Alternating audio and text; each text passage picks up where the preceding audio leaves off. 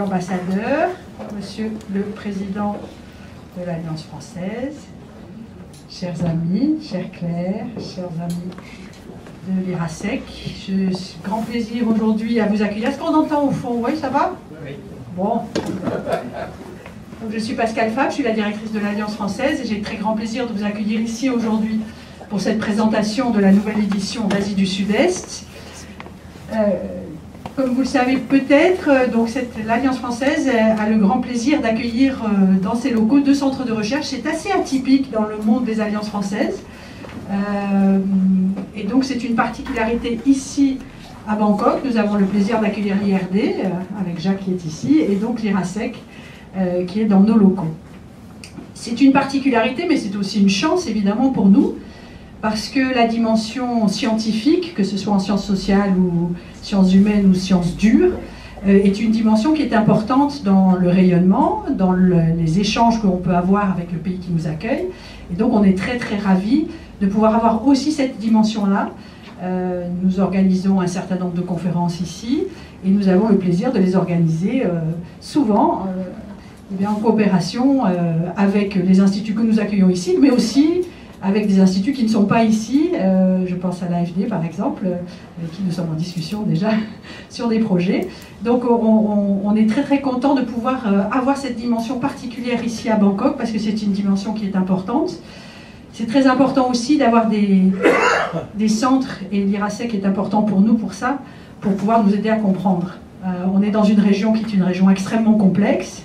On a eu la chance, il n'y a pas très longtemps, d'avoir une conférence de notre ambassadeur pour nous expliquer dans, cette conférence qui était vraiment très passionnante sur les origines de l'Asie du Sud-Est, nous expliquer historiquement ce que c'était ce concept d'Asie du Sud-Est, mais c'est aussi dans la période contemporaine assez difficile en fait, de lire ce qui se passe, euh, bien sûr en Thaïlande, mais aussi dans les pays voisins. C'est une région qui est extrêmement diverse, euh, qui est euh, difficile à appréhender, pour laquelle évidemment la barrière linguistique est un, gros, un énorme problème parce qu'on a des, informations qui sont soit des informations en anglais, soit des informations de deuxième main. Bien sûr, les journalistes, et, Arnaud est ici, euh, sont là pour nous aider, mais c'est vrai qu'au quotidien, on a parfois un peu de mal à savoir exactement ce qui se passe.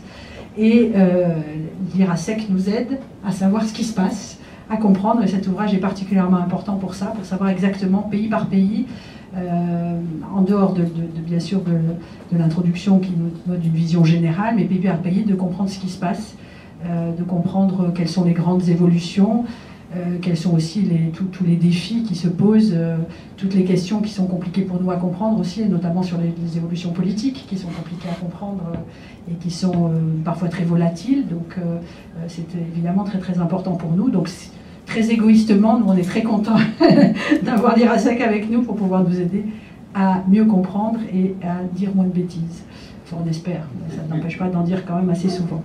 Voilà, donc merci beaucoup en tout cas, et moi je n'ai rien d'autre à vous dire parce que je ne suis pas une scientifique, donc euh, je vais laisser la place maintenant à, notre ambassadeur pour cette introduction, et ensuite je vous laisserai bien entendu euh, parler plus précisément de l'ouvrage. Un très très grand merci, très grand merci d'être parmi nous, on est très très content de vous avoir, et euh, voilà, on est content, c'est déjà bien. Merci à tous d'être là.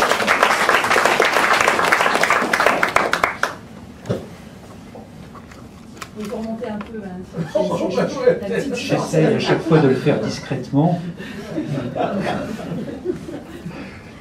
Tout d'abord, ben, vous savez, cet IRASEC, euh, c'est un centre de recherche particulier parce que euh, la France a beaucoup de centres de recherche sur l'Asie du Sud-Est, mais pas en ce qui concerne l'aspect contemporain.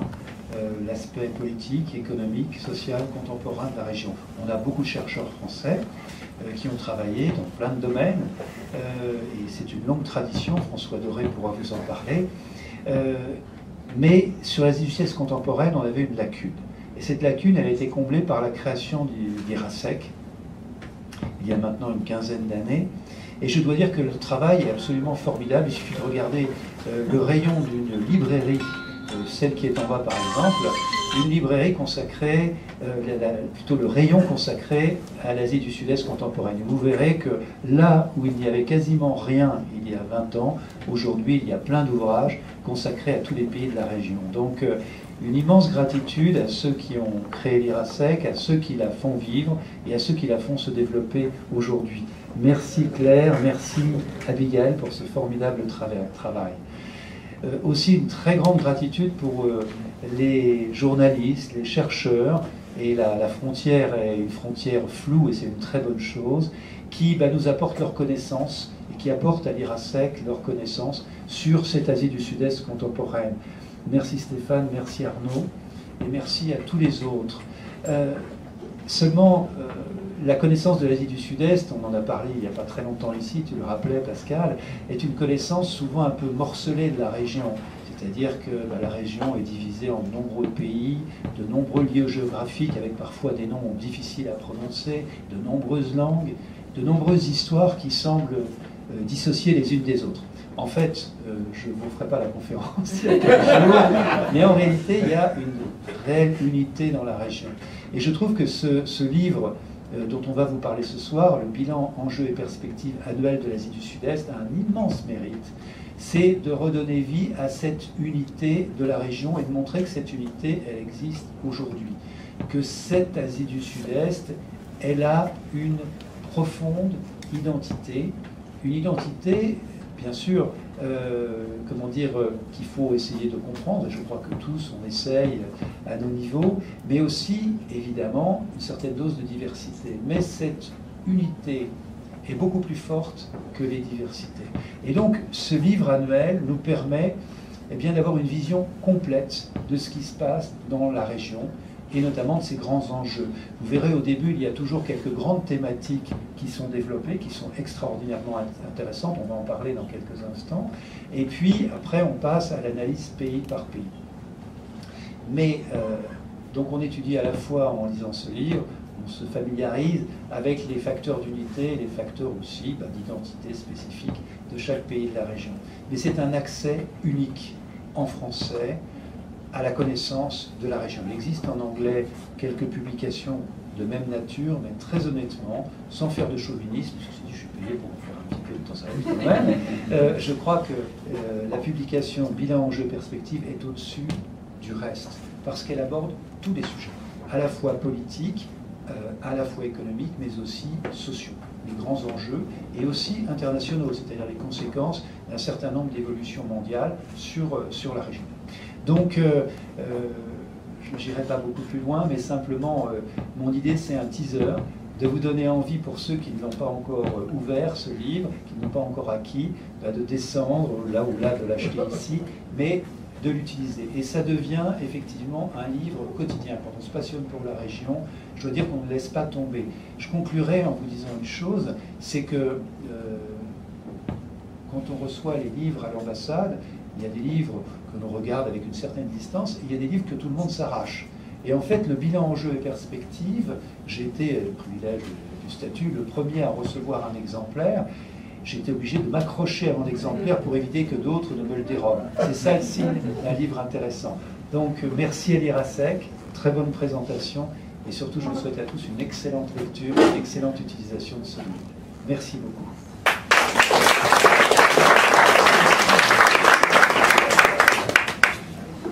Bonsoir à tous. Merci d'être venus pour la présentation de Asie du Sud-Est 2018.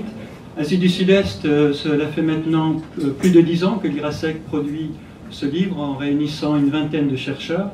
Et je pense que cette année, c'est un très bon cru, avec des dossiers thématiques qui sont très anglais, avec des angles très pertinents. Par exemple, Abigail qui fait un, dossier sur un chapitre sur euh, Internet et démocratie, un thème qui est vraiment euh, complètement d'actualité dont on va parler euh, tout à l'heure, mais aussi avec des chapitres par pays. Euh, Stéphane qui a fait le chapitre Thaïlande et Claire qui a fait le, chapitre sur le Vietnam. Je pense que c'est maintenant un ouvrage de référence, un ouvrage que non seulement les chercheurs et les étudiants, mais aussi les diplomates et tous ceux qui s'intéressent sérieusement à l'Asie du Sud-Est consultent et, comme le dit Monsieur l'ambassadeur, s'arrachent. Je vais commencer par euh, avec Claire sur euh, euh, le fait que ce volume est publié pour le 50e anniversaire de l'ASEAN. Donc l'ASEAN, créé en 1967 avec cinq pays à la base, dans un contexte de guerre froide, et qui est une association qui a peut-être connu, je dirais, son apogée au milieu des années 90 et qui après a peut-être perdu un petit peu de son élan. Euh, et on a l'impression que maintenant l'ASEAN a quelques difficultés à faire face à des crises comme euh, euh, bien sûr la mer, la mer, de Chine méridionale ou bien la crise des Rohingyas au Myanmar ou même des crises qui peuvent paraître moins sérieuses comme les feux de forêt en Indonésie. Alors Claire, est-ce que vous pouvez nous faire un peu le bilan de l'ASEAN après 50 ans? Est-ce que c'est une organisation qui a encore du tonus ou une organisation qui s'est un peu essoufflée? Alors, euh, alors c'est vrai que l'ASEAN est confrontée à de, nombreux défis, euh, mais si on le regarde dans une perspective de longue durée, il faut quand même voir d'où on part. Euh, 1967, on est en pleine guerre froide, en pleine guerre du Vietnam. 68, c'est l'attaque du Tête. Et on est en pleine guerre. La guerre n'a pas été euh, limitée au Vietnam, elle est étendue au Cambodge et au Laos. Donc on est dans, une, période quand même où, l'ASEAN, euh, qui rassemblait tous ces pays qui ont été colonisés pour la plupart, à l'exception de la Thaïlande, sont dans euh, un défi difficile. Et du coup, cette ASEAN a été marquée par la présence des, Américains qui ont choisi de dans leur politique d'associer développement économique et euh, euh, lutte contre le communisme. Euh, donc, il ne faut pas oublier non plus que lors de la troisième guerre d'Indochine, c'est quand même l'ASEAN qui va permettre de aussi essayer de, de faire entendre ces, ces, pays, puisque l'ASEAN était au départ une lutte contre les pays communistes, à savoir le Vietnam, le Laos et le Cambodge. Donc l'ASEAN était coupée en deux, en deux mondes, on était quand même en, en, entre deux mondes. Donc aujourd'hui, l'ASEAN a le mérite de rassembler tous ces pays qui sont d'une très grande diversité économique, mais aussi diversité des régimes politiques.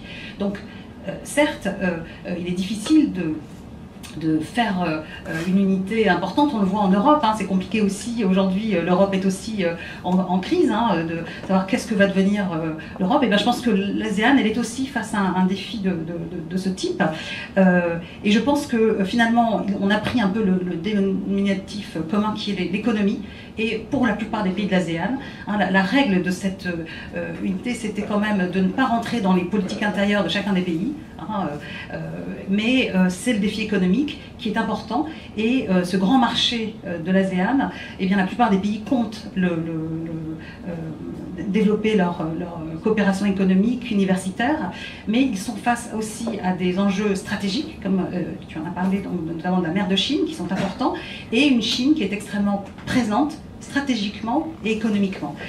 Et puis on a des, pays de, très grande diversité, euh, des pays très riches comme Singapour, ou comme euh, la, Malaisie, la Thaïlande, et puis des pays euh, beaucoup plus euh, pauvres comme le Cambodge ou le Laos, ou le Myanmar qui vient de s'ouvrir. Donc c'est quand même un, difficile, je pense que c'est une période difficile où, euh, la question stratégique face à la Chine est particulièrement importante puisqu'ils doivent faire face à une, non seulement à, un développement économique, passer à une étape supérieure, mais aussi,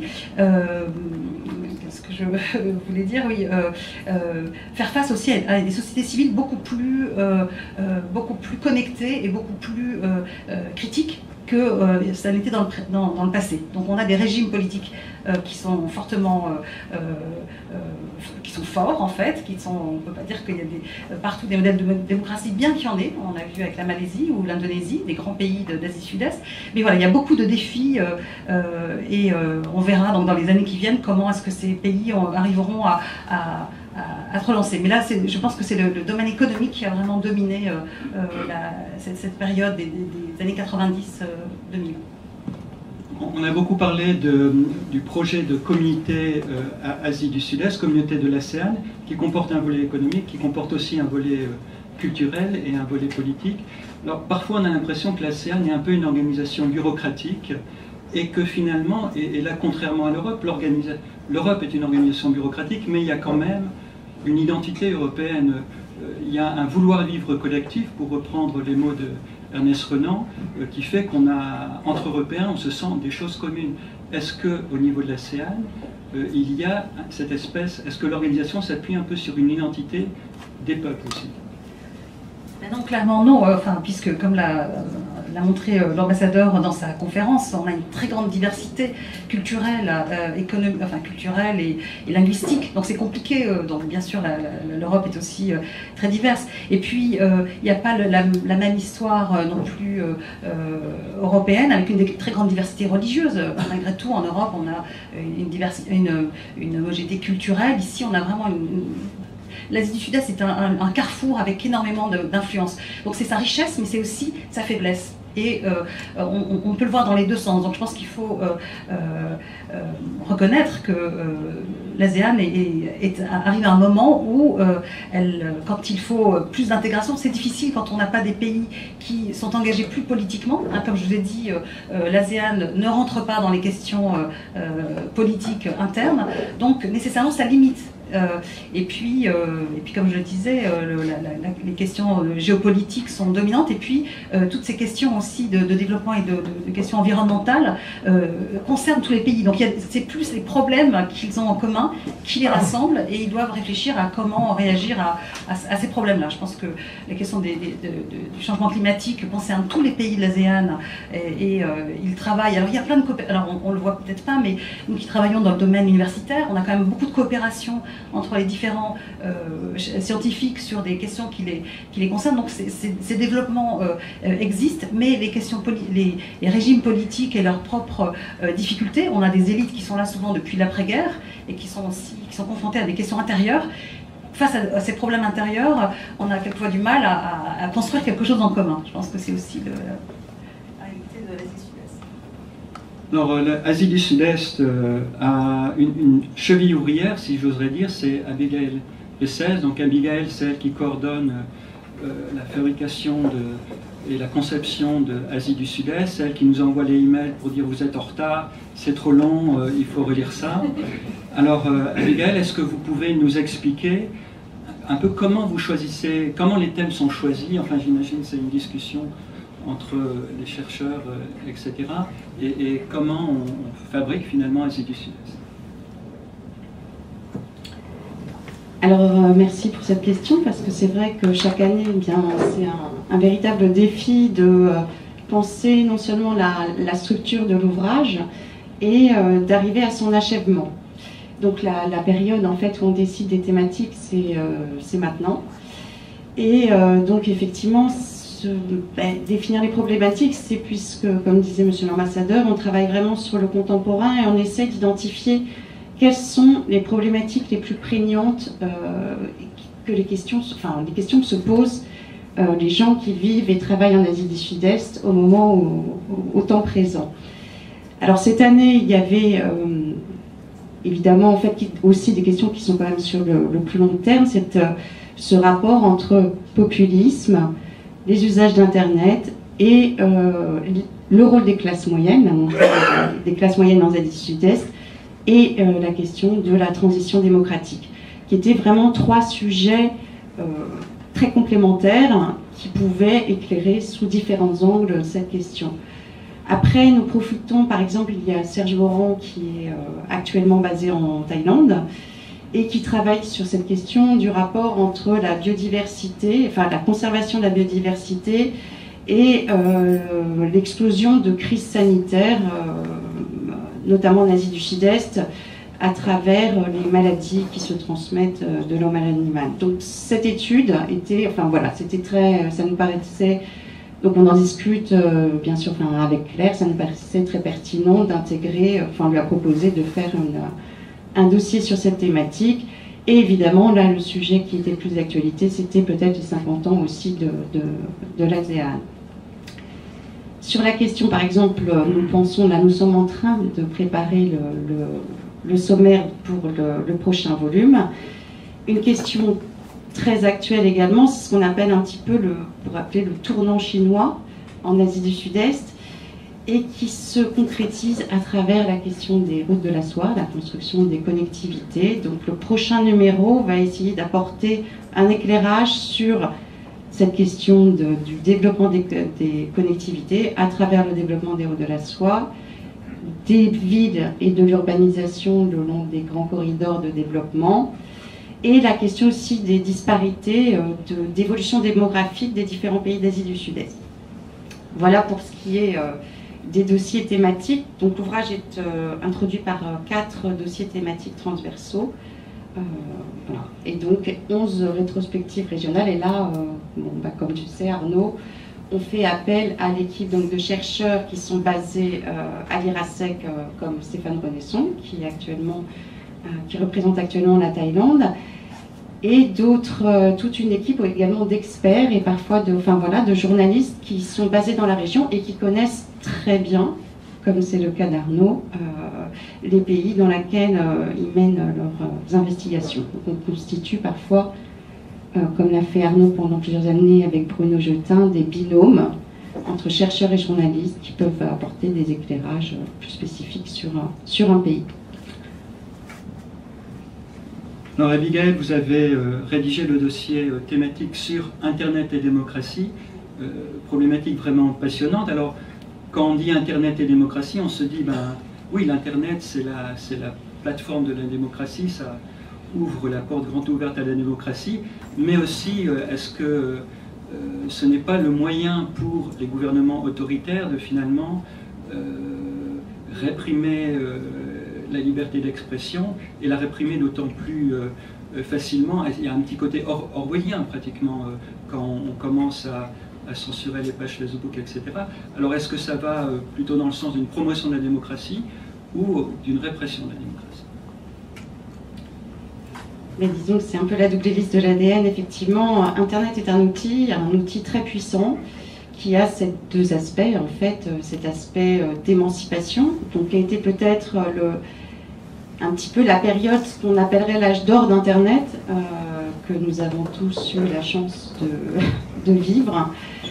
Et euh, donc avec euh, évidemment les printemps arabes, les hyperliens, les plateformes de zéro, l'échange de, toutes sortes de, contenus et de circulation, libéralisation d'une parole politique en ligne. Donc là, du côté des citoyens, effectivement, il y a eu ce qu'on pourrait appeler l'avancée d'une démocratie, du moins dans, dans cet espace euh, virtuel, et qui a eu des impacts effectivement euh, politiques dans certains pays, euh, notamment pour favoriser tous les mouvements sociaux et les mobilisations, les coordinations de, de, rue, de manifestations de rue.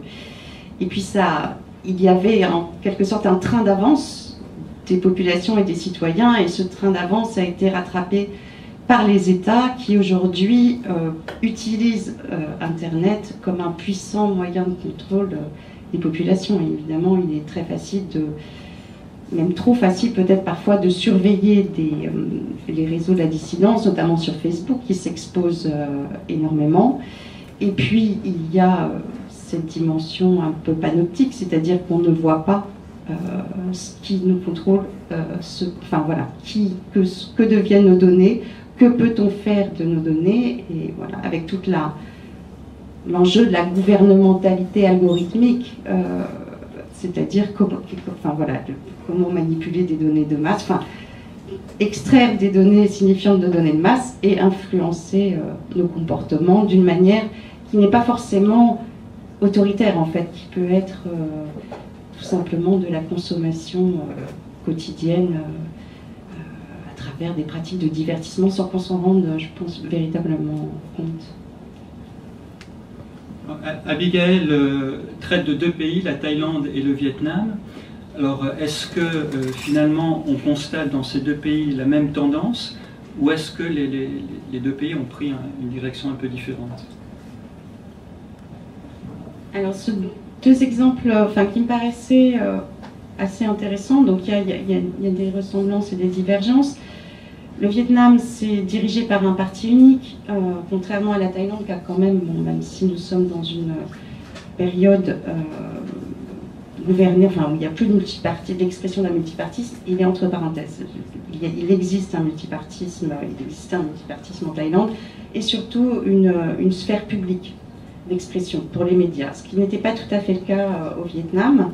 Et l'autre contraste, c'est l'important essor de la blogosphère qui n'est pas forcément euh, le mode privilégié euh, en Thaïlande. Il n'y a pas eu d'explosion comme ça d'une euh, blogosphère militante dans ce pays.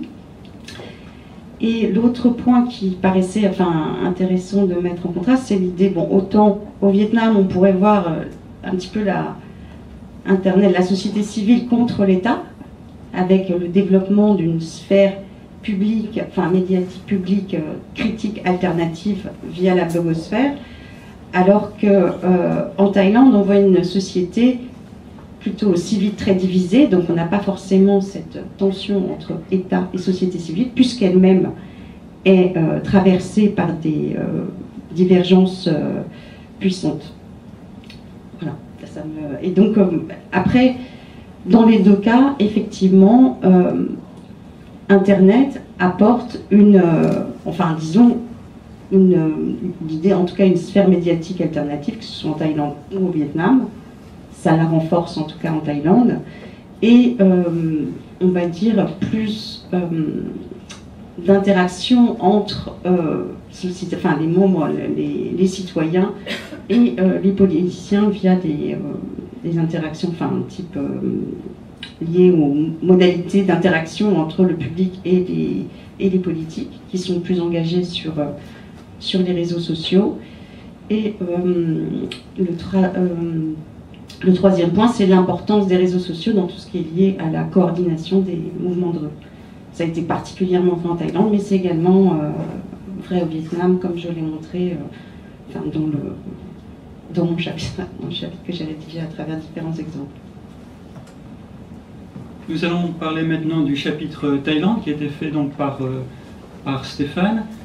Stéphane, ce, qui, frappe un peu en Thaïlande euh, actuellement, demain ce sera le, quatrième anniversaire euh, du coup d'État, le 22 mai 2014. Et donc 4 ans, c'est la durée d'un gouvernement élu en Thaïlande normalement. Et ce qui frappe un peu, c'est un peu cette acceptation passive, on a l'impression, de la population, de la situation, une espèce d'apathie devant euh, ce régime euh, militaire. Alors, est-ce que ça traduit, d'après vous, une approbation Finalement, que les gens sont relativement contents, que l'ordre a été maintenu, etc. Ou est-ce que ça veut dire qu'il y a un mécontentement qui sourd, mais qu'il n'est pas visible parce qu'il est souterrain à cause de la répression?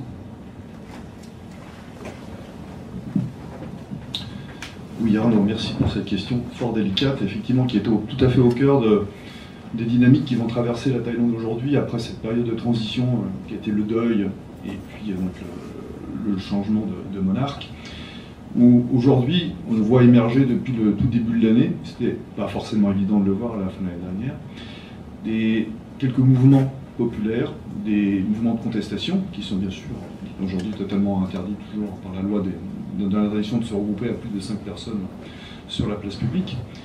Et, mais bon, ça, ce pas, pas des phénomènes qui sont multipliés pour autant, on va dire.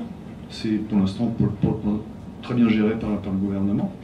Et en parallèle, on a euh, effectivement une forme d'acceptation qui est traduite aujourd'hui dans les derniers, je ne sais pas si vous avez vu sortir il y a quelques jours, les, les résultats de, de Poll Opinion, donc de sondage. Euh, qui montre un état de satisfaction de la part des, Thaïlandais en général, à hein, plus de 70%, si mes souvenirs sont exacts. À savoir que, et notamment au, premier chef, pour les raisons d'avoir pacifié, d'avoir remis en ordre, d'avoir mis de l'ordre dans la vie politique et dans la vie du pays en général. Donc, ne serait-ce que pour la, première raison pour laquelle cette, junte s'est invitée sur la, sur la scène politique euh, thaïlandaise, elle est pour la plupart des gens c'est une intervention militaire réussie. Ensuite se pose un deuxième problème qui est celui de... Euh, alors, les gens reconnaissent aussi une certaine forme de volontarisme euh, économique, dont, mais que les gens, en bas, en bas de l'échelle, ont du mal à se réapproprier. C'est-à-dire qu'aujourd'hui, effectivement, par rapport à l'effort considérable, notamment en termes de, de, structures, euh, d'infrastructures, notamment sur, le, sur les transports, tous, dont vous devez tous témoigner de façon presque quotidienne, euh, d'un début de révision de politique euh, fiscale avec des taxes sur un ensemble de choses. on peut rentrer dans les détails éventuellement, mais c'est très important pour la suite. les gens ont du mal évidemment à voir un petit peu de quelle manière ces grands travaux, ces investissements colossaux qui dont d'autres arrivent et, vont augmenter avec, avec le temps. je crois qu'il y a plus de 30 milliards de dollars qui vont, qui vont être insufflés, notamment dans la zone économique spéciale sous, sous 5 ans, quelque chose comme ça, c'est tout à fait considérable. les gens ont beaucoup de mal à voir quel est leur intérêt là-dedans. À savoir quelles, sont, vont être les retombées de, ces injonctions économiques. alors, j'arrive vraiment au bout de, pour répondre à ta question. Euh, ça, c'est objectivement ce qu'on peut voir. Les gens expriment ça assez facilement. Et puis ensuite, il y a la contestation politique euh, stricto sensu, à savoir est-ce que les gens vont accorder, que ce soit au roi ou bien au gouvernement aujourd'hui, une certaine forme de légitimité? Je, laisse les choses un petit peu, un petit peu dans le flou euh, à dessein. Alors, alors là, les, choses sont trop compliquées, effectivement, parce qu'en Thaïlande, on ne peut pas, généralement, déjà, on ne critique pas, on ne critique pas le pouvoir, c'est pas quelque chose qui se fait euh, de manière facile. Euh, l'organisation hiérarchique euh, de la société fait qu'il est difficile de mettre en cause les, gens qui, vous dirigent, qui sont situés au-dessus de vous dans la hiérarchie, évidemment. Mais de, surcroît, le, gouvernement a fait une certaine forme de terreur, on peut dire, aussi bien dans les mouvements, enfin dans les milieux intellectuels, dans les, dans les universités, qui font que l'autocensure, et on l'a vu très bien d'ailleurs pendant la période de deuil où les gens respectaient, là on ne parle pas d'idées, on parle simplement du, respect d'un certain, code vestimentaire ou, euh, en termes de comportemental par rapport au, donc, au deuil du roi, où on a vu euh, une espèce d'autocensure un petit peu distribuée comme ça dans la société, où les gens eux-mêmes se prenaient en charge pour respecter un ensemble, un ensemble de règles, les ensembles de règles du deuil.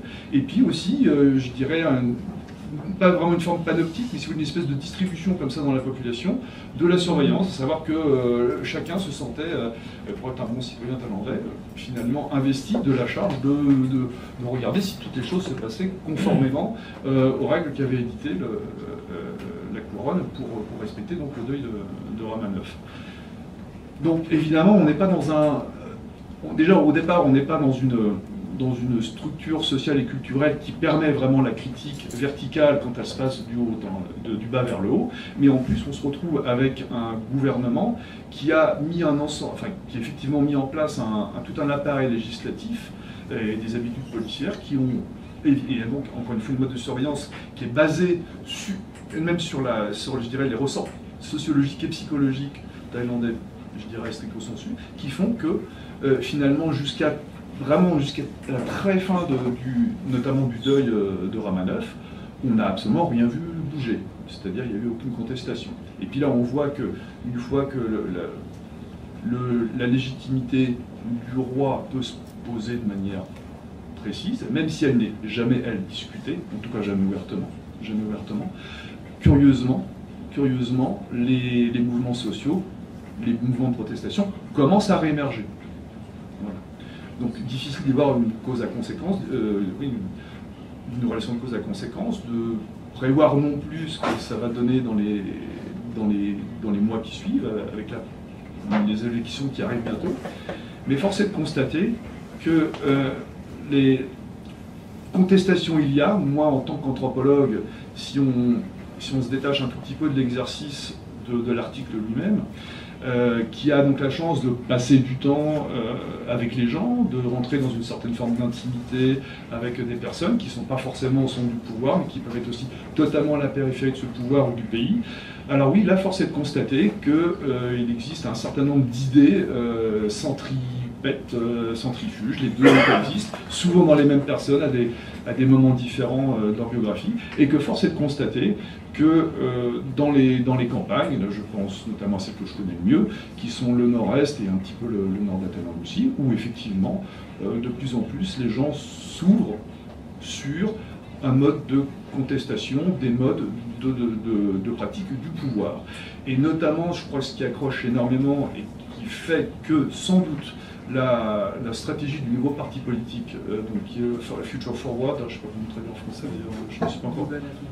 Pardon Nouvel avenir. Nouvel avenir, oui, ça me, me euh, euh, d'être les seuls aujourd'hui, on va voir ce que ça va donner, mais ils sont très isolés dans, la, sur la scène politique, ils sont les seuls à s'être positionnés, ils ont fait un appel, pourtant ils n'ont pas reçu de, retour, ils sont les seuls à s'être positionnés euh, pour, contre, le, si vous voulez, la, possibilité qu'offrent les, lois cadres euh, qui vont guider donc l'élection de l'année prochaine, euh, qui donc euh, finalement un, une personne non élue, en dehors donc, du processus électoral, de pouvoir être réinjecté en tant que Premier ministre, enfin Premier ministrable, à partir du moment où, le, où les deux chambres, s'étant réunies, n'ont pas réussi à dégager une majorité de 50% sur un candidat.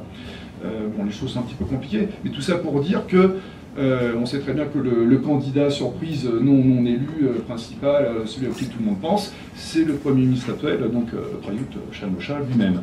Et bon, on, verra bien, mais c'est les seuls voilà, à s'être mis sur ce, sur, ce, sur ce créneau-là. Et moi, finalement, mon expérience, il y a bien que là-dessus, c'est-à-dire sur l'animation démocratique de la vie politique, et donc notamment cette aspiration forte cette impossibilité depuis 4 ans d'animer cette scène politique qui commence à gêner, même des gens qui n'ont rien à voir avec la politique.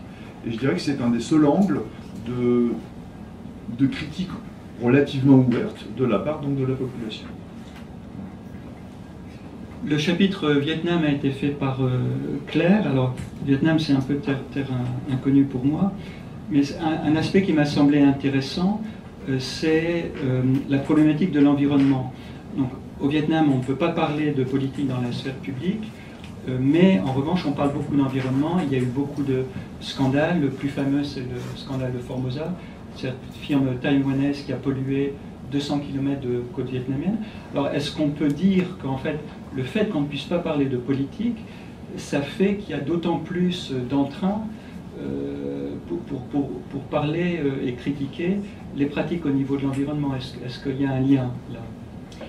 Alors euh, oui, clairement, euh, le Vietnam est un pays communiste, donc où il y a un parti unique qui domine euh, la vie politique du pays au nord depuis 1945 et depuis 1975 sur tout le pays.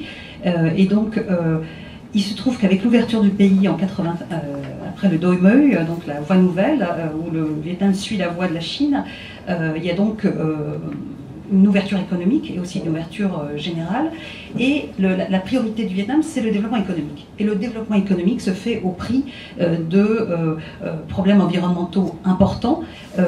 il n'est pas le seul d'ailleurs. la Taïwan, le, Japon, la Corée ont été confrontés aux mêmes problèmes. Là, je lisais un article récemment d'un collègue Paul Jobin qui travaille sur Taïwan, qui décrit très bien comment le, développement économique de Taïwan a été fait aux dépens de la sécurité donc a entraîné beaucoup de problèmes écologiques, on se retrouve finalement, pour le Vietnam, dans, une situation comparable, sauf que le développement s'est fait euh, de manière encore plus rapide et qu'en fait la légitimité du Parti communiste aujourd'hui, c'est le développement économique. Il y avait la légitimité de la guerre, hein, pendant très longtemps, ils ont gagné, mais depuis, ça fait euh, euh, donc, 30 ans qu'ils se sont ouverts à l'économie de marché, et leur enjeu, c'est de développer à tout prix. Or, euh, ce développement a un coût, euh, ça suppose aussi des investisseurs, et typiquement dans le cas de Formosa, Formosa, comme son nom l'indique, c'est donc une entreprise taïwanaise, donc pas chinoise, même si pour beaucoup de Vietnamiens ce sont des Chinois, hein, mais Taïwan, c'est justement pour le Parti communiste vietnamien une manière d'avoir des investissements qui ne sont pas de Chine populaire, parce qu'il y a une, balance commerciale très déficitaire vis-à-vis -vis de la Chine communiste. Donc en fait, pour eux, c'est une manière de d'équilibrer, sauf que Formosa, c'est une euh, des entreprises les plus polluantes il y a eu beaucoup de, il y a eu beaucoup de combats à Taïwan contre cette entreprise-là. C'est ça? Euh, c'est tout un, il y a de la sidérurgie, il y a beaucoup de, différentes activités, mais c'est la plus connue à Taïwan pour avoir. Euh, euh, il y a beaucoup de procès qui ont été faits à Taïwan contre justement leur, euh, le, fait qu'ils ne tiennent pas du tout compte de, des, normes environnementales. Donc en fait, ils ont, les Taïwanais exportent leurs entreprises les plus polluantes au Vietnam. Et pour le Vietnam, les investissements étrangers sont fondamentaux pour relever le défi pour rester au pouvoir et pour ils ont besoin de faire d'investissements importants et Formosa est une des entreprises qui a le plus investi euh, il faut j'ai été l'été dernier euh, dans cette région-là, qui était quand même une région très surveillée. C'est vraiment euh, donc le problème, c'est qu'ils ont fait venir beaucoup de Chinois qui travaillent eux-mêmes dans cette entreprise, aux dépens des Vietnamiens, mais c'est des investissements considérables. Donc aujourd'hui, la société civile est particulièrement engagée contre cette, cette cette, ces, dégâts qui ont été, qui continuent de, d'exister. Et donc, en fait, c'est Internet et la société civile qui a vraiment permis, euh, euh, qui a obligé le gouvernement à indemniser, à exiger des Taïwanais une indemnisation qui certes a été dispersé, il y a eu aussi beaucoup de corruption dedans, mais c'est bien, s'il n'y avait pas eu les, mobilisations via Internet de beaucoup d'activistes, on n'aurait pas eu ces indemnisations il n'est pas question. Donc finalement, euh, c'est un lieu où, effectivement, la société civile s'exprime de manière très forte et avec beaucoup de courage euh, dans le centre. Et ce qui est aussi très intéressant dans Formosa, c'est que c'est le centre, donc euh, cette région est quand même très pauvre, et bon, c'est pas ni Saigon, ni, ni Ho Chi Minh Ville, ni Et eh bien la mobilisation a été complète dans tout le pays, dans la presse.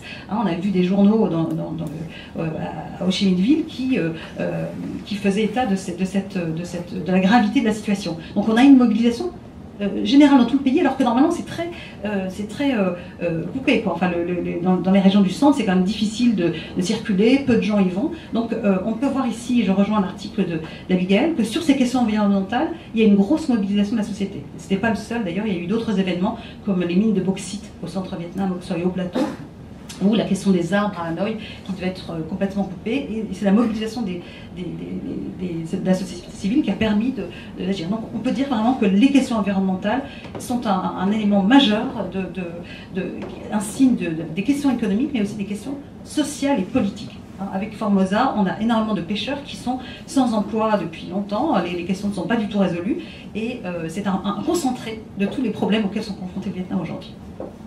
Merci. Je pense que ces présentations ont dû euh, faire germer des questions euh, dans le public, donc euh, vous savez, vous savez la parole. Il y a un micro là-bas qu'on peut faire circuler. Qui va poser des questions. Il y a des questions. Prends la première, la plus dure.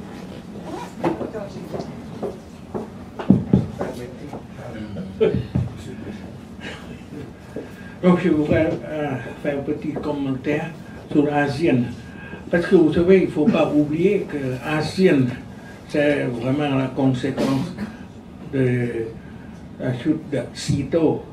Vous savez, il faut voir ça en perspective. Sito a été créé parallèlement avec OTAN. Et OTAN reste toujours en Europe.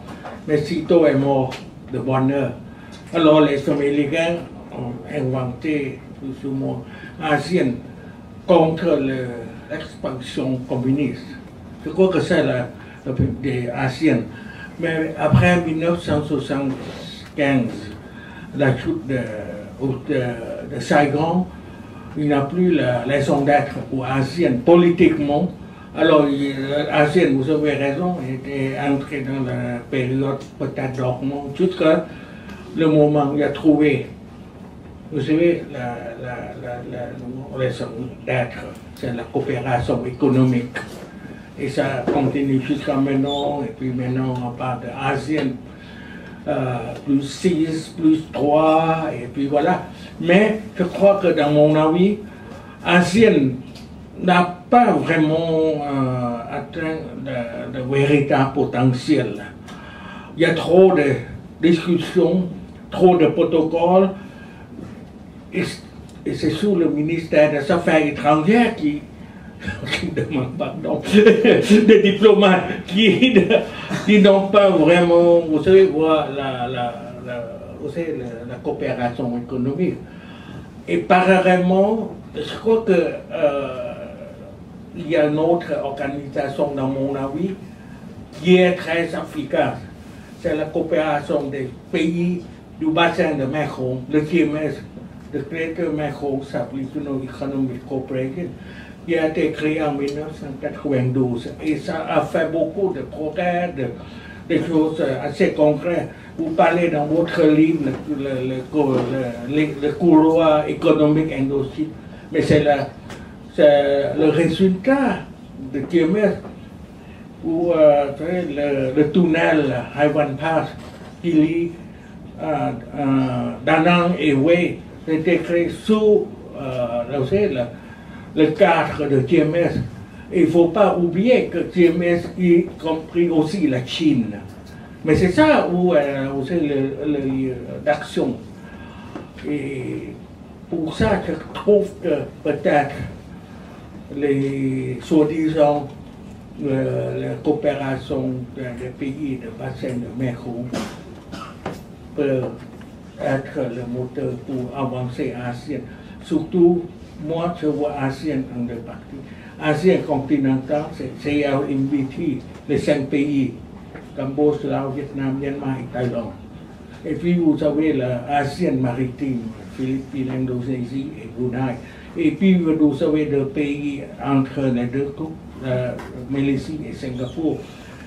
Et je crois que déjà beaucoup euh, d'infrastructures, beaucoup de travail sur les différents projets ont été, ont été déjà réalisés par TMS. Et il faut aussi euh, euh, savoir que TMS, il y a toujours la banque ADB, Asian Development Bank, qui aussi aussi en financement.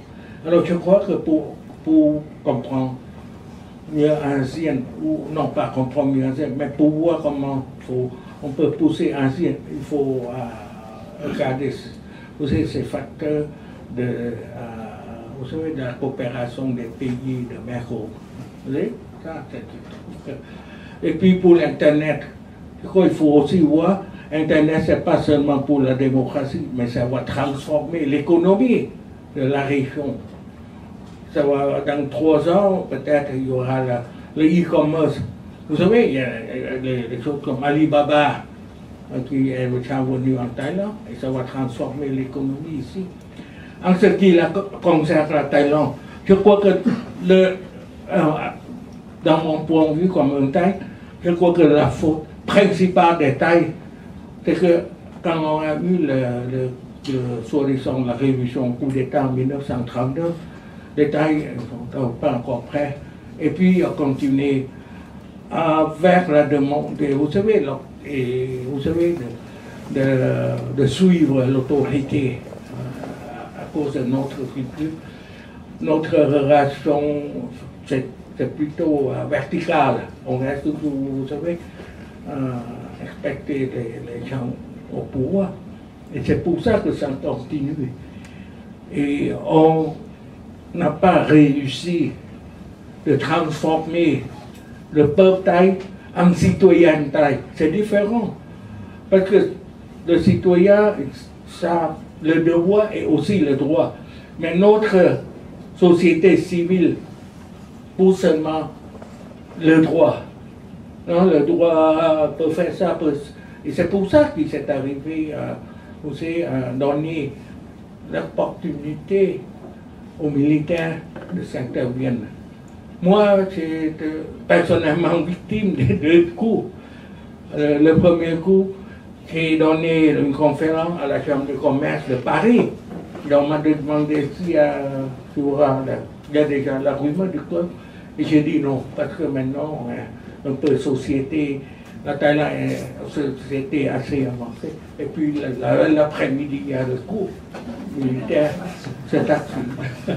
La deuxième fois, j'ai donné l'interview à la TV 24 à Paris encore.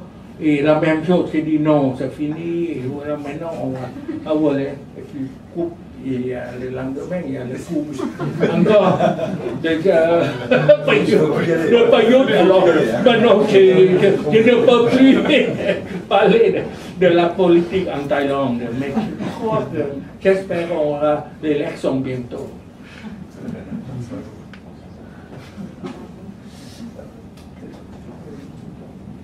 Une petite question, mais euh, euh, dans l'esprit du teaser dont je parlais tout à l'heure, quelles sont les publications prochaines de l'IRASEC auxquelles on doit s'attendre et, euh, que, l'on aimerait bientôt avoir entre les mains?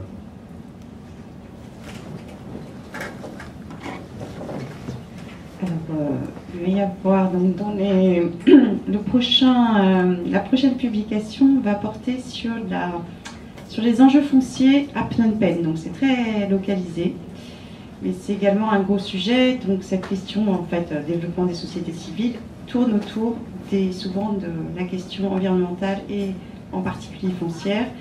Et donc toutes ces transformations, il va y avoir une étude qui est focalisée sur euh, Phnom Penh, donc euh, qui, va, aborder cette question de la réforme foncière à Phnom Penh. Ça c'est pour la toute prochaine publication, on espère d'ici la rentrée septembre. Et puis après, il y aura donc une oui, des économies, ça, c'est, donc ça, ce sera un ouvrage ouvert vraiment au grand public, public voilà, très large public, sur la question, une, une approche transversale des économies sud-est asiatiques. Ensuite, il devrait y avoir euh, donc, plusieurs projets, un carnet sur les questions d'éducation, alors là plus axé sur la Birmanie. Euh, un projet sur les routes de la soie aussi. Peut-être, donc, euh, alors ça, ça va prendre un petit peu plus de temps. donc, on a notre collection sur chaque pays, enfin, une approche globale en fait de chaque pays d'Asie du Sud-Est. Donc il y a déjà eu la Thaïlande, le Vietnam. Et là, il y a un projet en cours euh, sur le Laos. Et Malaisie d'abord. Malaisie. Voilà. À, aboutir, mais qui est, qui, est, qui, qui, est en cours, donc c'est de prochains ouvrages. Nous avons, euh, enfin, et puis après des projets, donc euh, il y a eu un important acte de recherche sur environnement et société en Asie du Sud-Est, euh, au cours des deux années passées avec l'invitation de Philippe Descola. Et puis euh, nous avons tissé un réseau de relations avec des, euh, des, partenaires académiques locaux. Et on aimerait donner jour à une publication évidemment sur cette thématique, sur la diversité des natures en Asie du Sud-Est.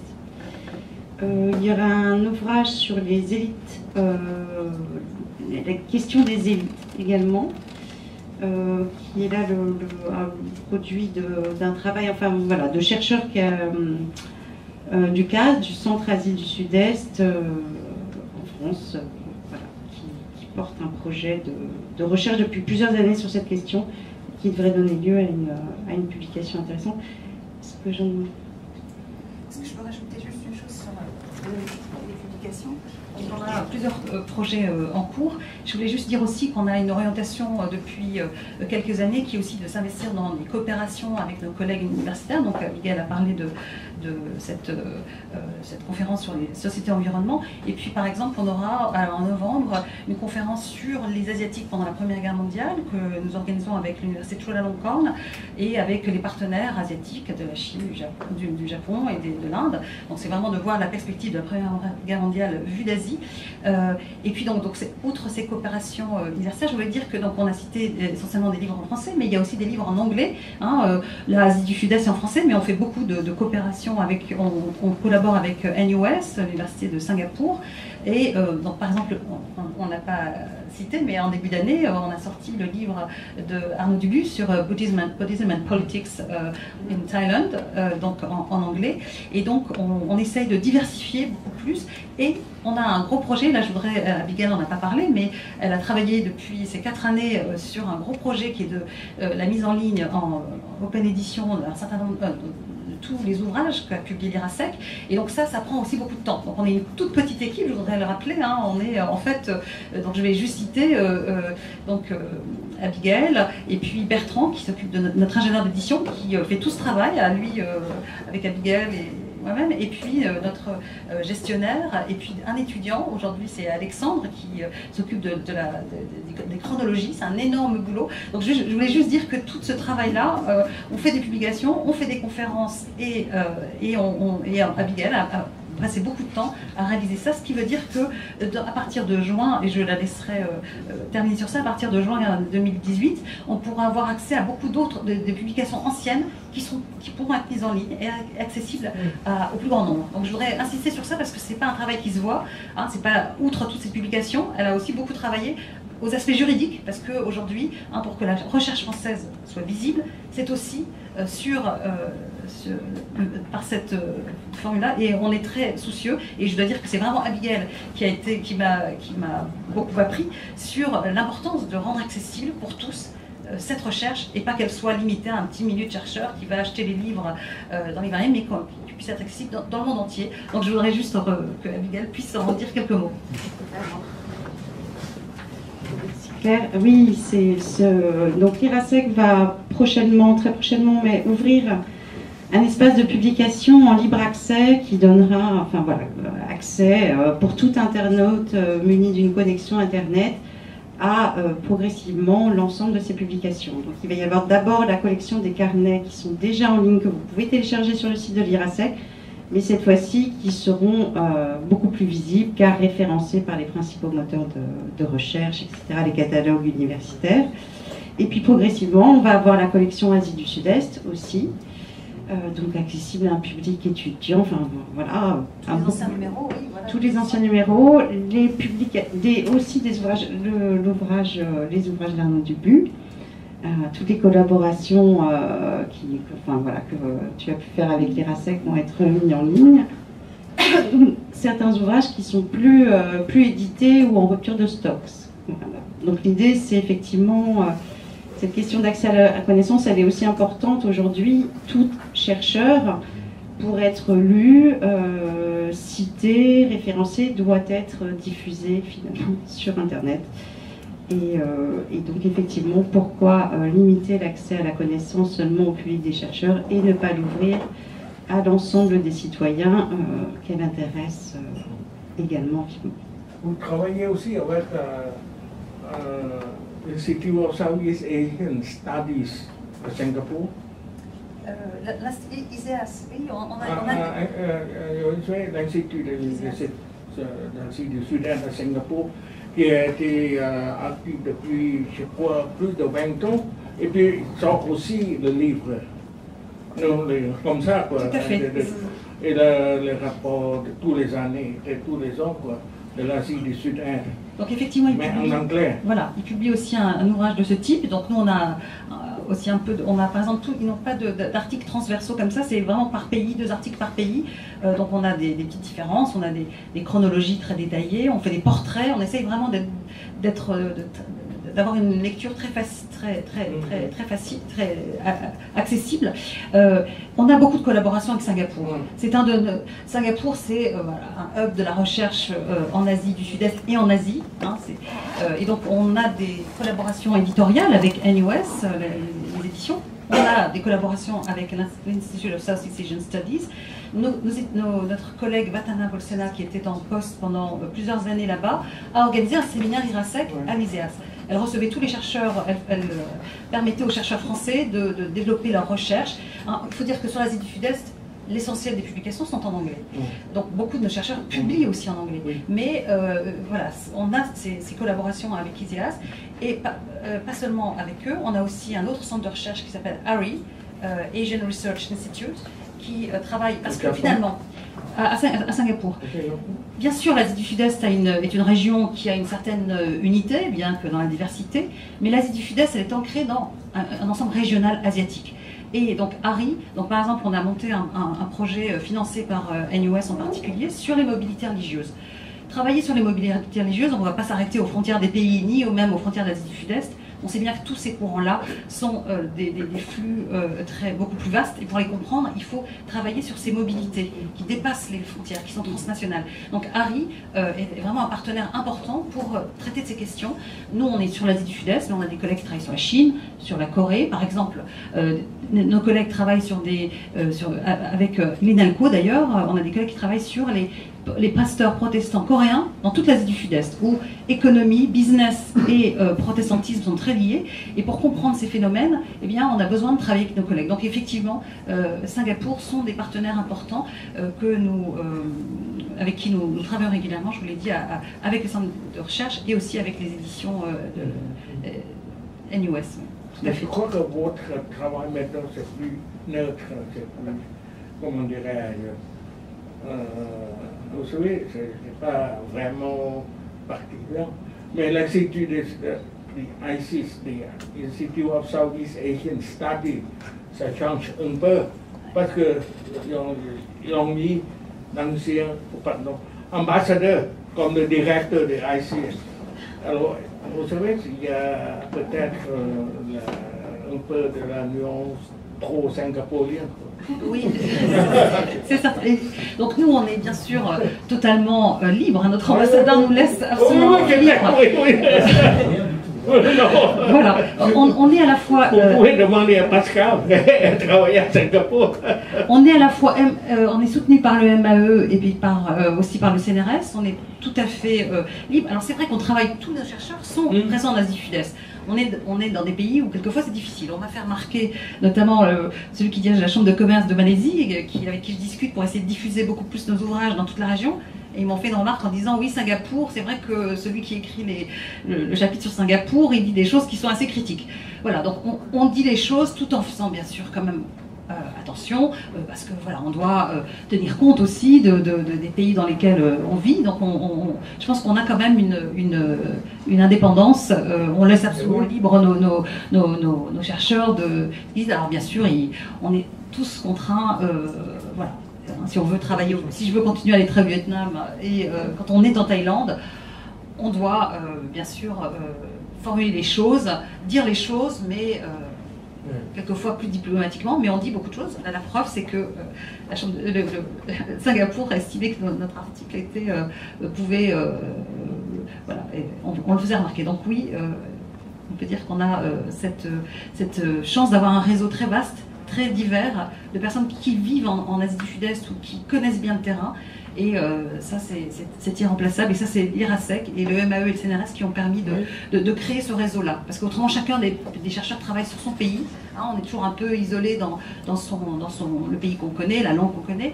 Et euh, je veux dire que des instituts comme l'IRASEC, et je voudrais à ce titre remercier vraiment euh, euh, l'ambassadeur, euh, M. Garachon, qui est à l'origine de l'IRASEC. Et je veux dire que c'est vraiment un, un plaisir pour nous. Et j'ai eu beaucoup de chance en arrivant euh, à ce moment-là d'avoir euh, la- la- l'ambassadeur qui a permis de, la création de cet institut, qui euh, permet vraiment de- de- de- de- d'avoir cette vision régionale que l'on n'a pas autrement, parce qu'on est chacun dans, dans- dans- dans nos, dans nos pays euh, respectifs. Juste euh, un élément de réponse à vous donner. L'idée vraiment, c'est pas, enfin, dans Asie du Sud-Est, c'est de rédiger une synthèse distanciée sur les faits d'actualité, une analyse qui permet à tout un chacun ensuite de se faire une opinion et de surtout pas être une tribune politique. Et dès qu'on tombe dans la tribune politique, justement, on essaye de ramener les chercheurs sur une ligne d'analyse qui permet aux lecteurs euh, de, juger par eux-mêmes. Donc, je pense que l'IRSEC n'est plus euh, connu que Institute of Southeast Asian Studies hein, de trois ans. Non, parce que c'est vrai, vous avez des, des chercheurs hein, ça part.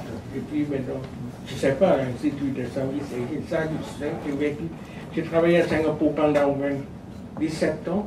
Il y avait 20 ans, c'est le seul institut dans la région qui vous donne, euh, vous savez, euh, des assez, euh, assez importants et, et compréhensibles.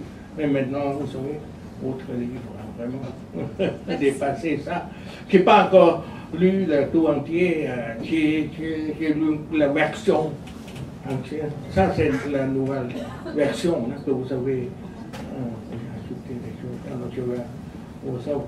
Il y a, euh, vous savez, une partie assez intér- euh, intéressante quand vous parlez de la monarchie en Thaïlande. Je ne vais pas faire de commentaires. Quelqu'un qui veut intervenir Il y a une question ici.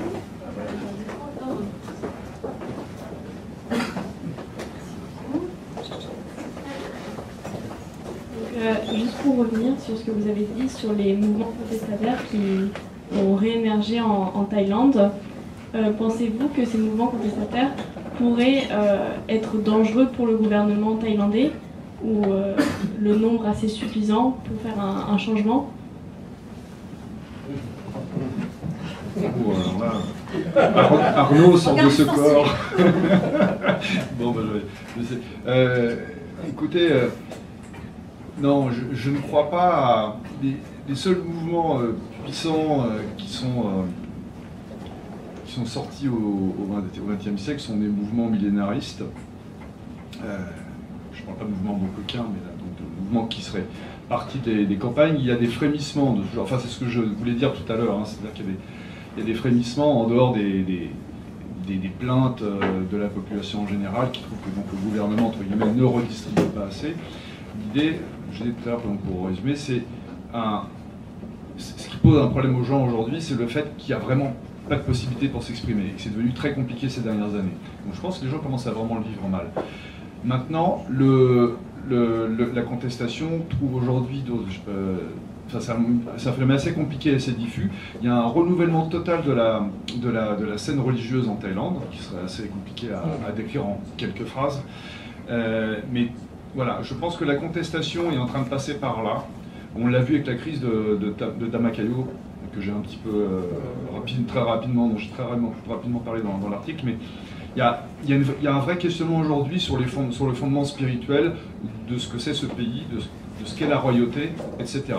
Et il y a une vraie, pas une remise en cause, mais il y, a, vraiment quelque chose qui est en train de se lever, qui, euh, comme le disait Claire tout à l'heure à propos des, euh, mobilités religieuses, aujourd'hui les bouddhistes vont ailleurs, vont loin, vont sortent d'Asie du Sud-Est aussi, vont en Chine, à Taïwan, en Inde, enfin ça, fait bien longtemps qu'ils le font, mais il y a une, nouvelle génération de gens qui vont un petit peu partout, et qui sont probablement le ferment d'un bouddhisme, on va dire, plus protestantiste, si je fais des projections euh, très rapides, qu'un bouddhisme catholique qui était plutôt, euh, je dirais, l'œuvre de, la réforme initiée par, euh, par Chulalongkorn au milieu du, 19e siècle. Donc, euh, dire qu'aujourd'hui les mouvements de contestation vont, renverser le, gouvernement, moi personnellement je n'y crois pas. Et pour j'aurais tort, je ne sais pas, mais j'y crois pas beaucoup. En revanche, ce à quoi je crois, c'est un mouvement de fond euh, qui est probablement assez irrésistible, et parce que la spiritualité de ce pays est en, train de changer. Oui, et là, effectivement, il est en train de se passer quelque chose. Et ça ne prendra pas forcément un visage politique au sens premier du terme, c'est quelque chose de plus local. Excusez-moi, vous pouvez préciser ce que vous venez de dire, le changement de spiritualité de ce, pays, c'est-à-dire Oh oui, alors c'est. Ben, comme je dis, c'est plutôt une, une, reprise en main des, des textes par les gens, c'est-à-dire qu'on voit bien qu'il y a une espèce de crise de l'institution euh, euh, bouddhique, dans le sens où, le, le, si vous voulez, le, le concept, si je moi de faire le, publicitaire du Theravada, mais on va dire que le, bouddhisme Theravada est arrivé un petit peu, en Thaïlande, est arrivé un petit peu, mais pas en Thaïlande, en Birmanie même un petit peu avant, est arrivé un petit peu au bout de son modèle de la séparation entre une population et, euh, et, des moines, si vous voulez, avec une espèce de, délégation de la spiritualité à des, à des moines. Ce qu'on a vu, et aujourd'hui c'est bien le, problème, c'est que la Sanka, donc la communauté des moines, est aujourd'hui sous les feux euh, pour, euh, donc de, la critique publique pour des raisons de corruption, mais aussi et surtout pour des raisons d'éloignement par rapport à ce que sont les, canons euh, bouddhiques, et notamment les, les, 248 règles qui sont censées respecter pour être vraiment, pour être vraiment moine. Et, et, du coup, il y a une espèce de, de redistribution, si vous voulez, de l'accès notamment au texte, au texte sacré, un, un ensemble qu'on appelle liturgique très rapidement, par la population. Et donc on a à la fois une diffusion du bouddhisme en dehors des temples, et aussi une, réinvention des, de, rituels qui n'avaient pas forcément grand-chose à voir avec, le bouddhisme, mais qui, étaient, ont toujours été liés et qui ont été absorbés par le bouddhisme, sont en train aujourd'hui de se réinventer euh, un ensemble de, c'est un, énorme complexe rituel, si vous voulez, euh, qui sont tournés autour des, des, esprits. Euh, moi, je travaille sur les nagas, donc voilà que je connais un petit peu mieux. Euh, un ensemble comme ça de, de, divinités ou de. Euh, je sais pas comment les appeler, moi en français je ne sais plus comment les appeler, voilà, des, êtres surnaturels si vous voulez, pour faire très vite, qui sont en train de, revenir et qui vont prendre un, poids, on va dire un poids religieux et bouddhique pour le coup, beaucoup plus prégnant qu'avant. Voilà. Donc les gens, si vous voulez, c'est pour ça que je parlais de, protestantisme, c'est-à-dire que les, gens vont interpréter eux-mêmes, vont aller dans les jatakas, vont pas attendre la, récitation des, moines, mais vont s'en emparer et créer des, rituels qui, d'ici de possession, dit de ce que vous voulez. Ce qui s'est passé en Malaisie, est-ce que vous pensez que ça va avoir un écho dans l'ASEAN Non, parce que euh, je crois qu'il faut quand même voir le bouddhisme en deux sortes. Il y a deux bouddhismes en Thaïlande maintenant. Il y a le bouddhisme cérémonial, avec hiérarchie et tout. Ça, on a beaucoup de problèmes maintenant, même la corruption. Et puis il y a le bouddhisme de base, comme retour à l'origine, le bouddhisme de base. Et puis peut-être il y a le mix entre euh, et puis le Kangwe et puis le Mahayana le, le, le, moine français a bien écrit là-dessus Mathieu Ricard. Alors ça, c'est lui qui a bien expliqué vraiment le bouddhisme de base. Je pense qu'on va peut-être clore. euh, On vous, on vous euh, parce que là, on, on a dépassé le, le temps imparti et on vous invite, on a euh, à boire quelque chose juste. euh, au, au rez-de-chaussée, puis on pourra continuer les, les conversations. C'est que là, on a déjà dépassé.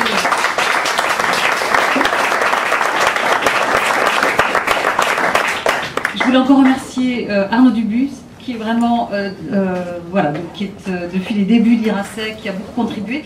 Et il ne l'a pas dit, mais en fait, les origines, on quand on a célébré les 10 ans l'année dernière, les origines, c'est euh, euh, Arnaud Dubus, c'est aussi euh, Jean-Claude Pomonti qui n'a pas pu être là, il est parti en France la semaine dernière.